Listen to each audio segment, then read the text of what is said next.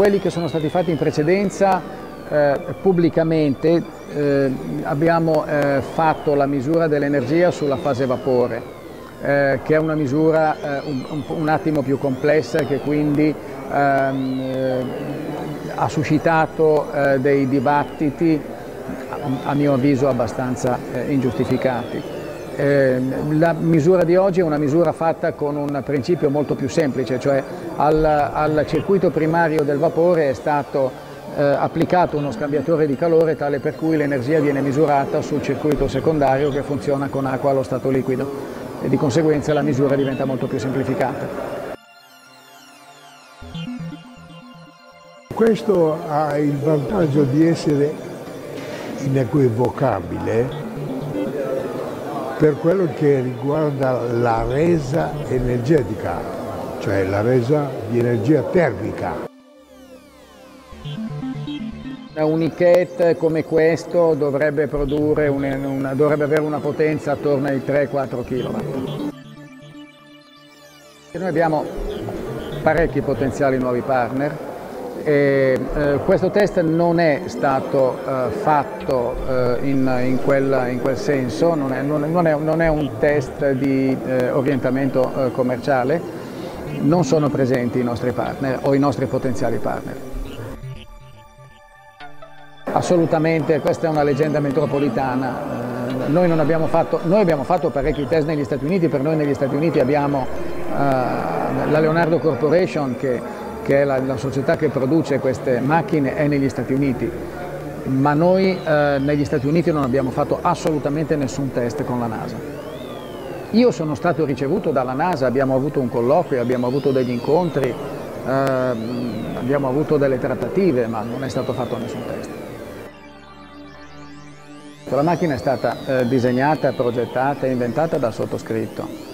Il professor Focardi eh, ci ha dato una, de, delle consulenze importantissime in termini di fisica nucleare, ma la macchina, eh, la macchina è stata eh, inventata, sviluppata, progettata nel contesto della Leonardo Corporation. L'inventore della macchina sono io.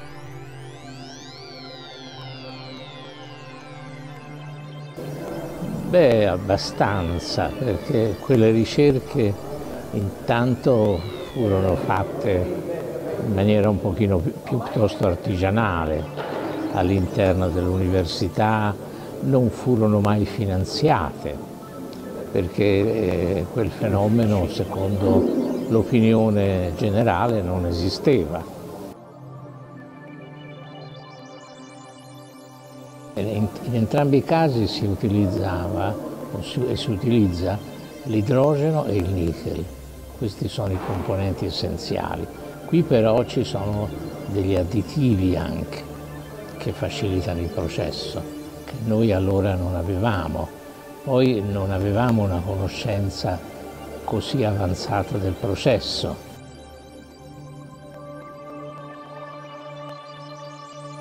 Sì, il motivo è questo.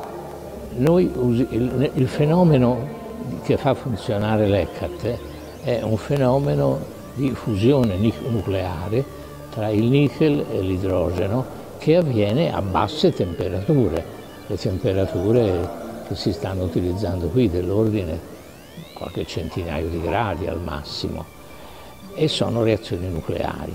Bene, il mondo scientifico è convinto del fatto che le reazioni nucleari succedono solo nelle stelle.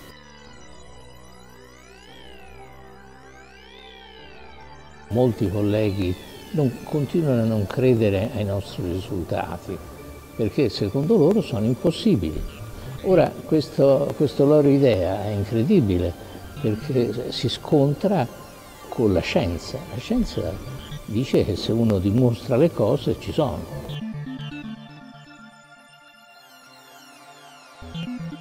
Il, il clamore è dato dal fatto che se questo funziona per forza deve essere una nuova, eh, una nuova fisica perché lo spazio dentro questo reattore, se ancora questa patata, non è abbastanza grande per, per avere combustibile, per produrre questo calore con, un, con una reazione chimica. e quindi deve essere una reazione nucleare, perché solo le reazioni nucleari possono produrre così tanta energia in così poco spazio. Le reazioni nucleari hanno una potenza un milione volte più grande di quelle chimiche per atomo o per quantità di massa. E reazioni nucleari che producono questa energia in questo modo non, non ne conosciamo, quindi deve essere nuova fisica.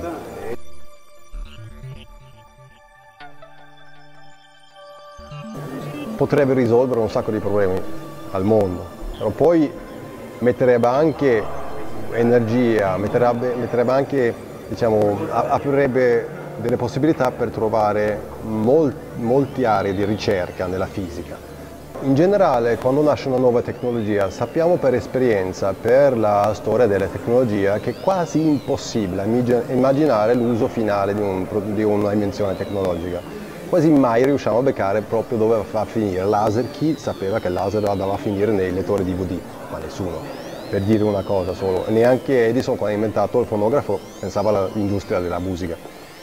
Quindi è impossibile a lungo termine capire, però a breve termine si può comunque capire perché la tecnologia è talmente semplice in sé, produce calore e col calore possiamo sia scaldare ovviamente ambienti e anche raffreddare, perché con calore si può produrre eh, aria condizionata. E col calore è una cosa importantissima che possiamo fare con calore è bollire acqua e togliere sale dall'acqua del, del mare. Quindi possiamo produrre acqua pulita in tutto il mondo. Già di per sé è una rivoluzione.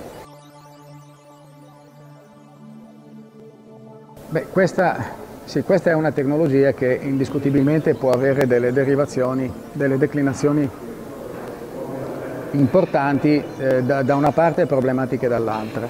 Abbiamo avuto delle interferenze, eh, però non tali da modificare il corso delle nostre operazioni.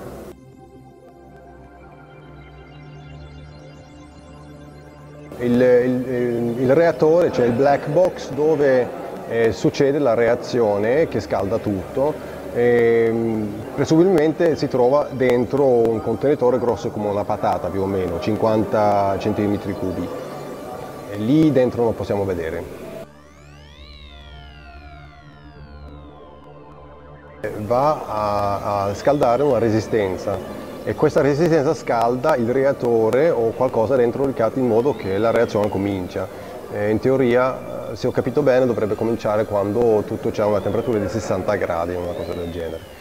Però eh, adesso, come fatto l'esperimento adesso, eh, l'energia elettrica viene messa, messa nell'esperimento per, per, un bel po' di tempo, per stabilizzare, se ho capito bene, la reazione, eh, di modo che alla fine si può staccare eh, l'elettricità e il riscaldamento elettrico alla resistenza. Adesso l'elettricità è stata staccata, all'inizio si stacca per 10 minuti, poi si rattacca l'elettricità e si stacca da 10 minuti in un processo che sembra necessario per rendere la reazione stabile. Dopodiché ad un certo punto hanno staccato l'elettricità del tutto, quasi del tutto, a parte un box di elettronica che consuma pochissimo, 100 watt come una lampadina, e sta andando avanti così da adesso da due ore più o meno.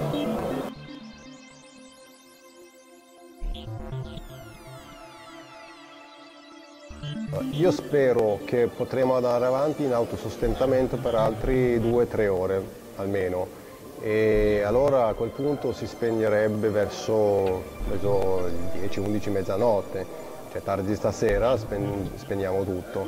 Dopodiché mm, si va avanti anche per un po' perché anche se la reazione, anche se il modo di finire la reazione è togliere l'idrogeno, però va avanti per sé lo stesso, per un bel po' di tempo.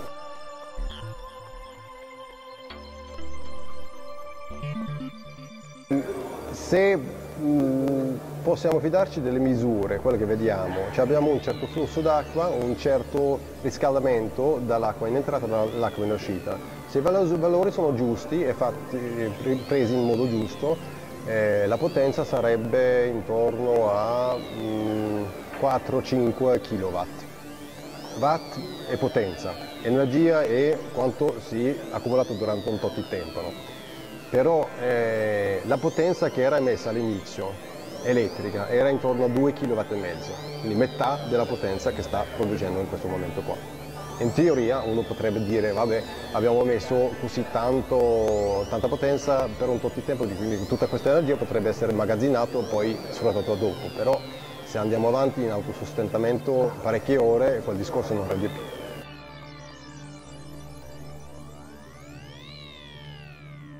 L'esperimento di oggi è andato bene, eh, sono abbastanza soddisfatto, anche se io eh, ho visto eh, durante l'esperimento di oggi dei difetti, eh, delle cose da correggere.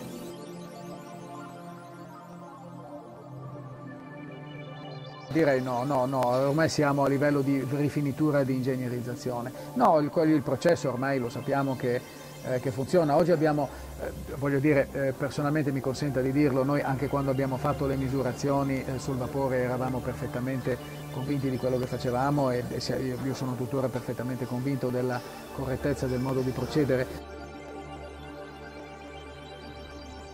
Il prossimo passo è il, il, lo startup di questo impianto da un megawatt eh, da cui, eh, eh, dentro il quale stiamo parlando tutte e due.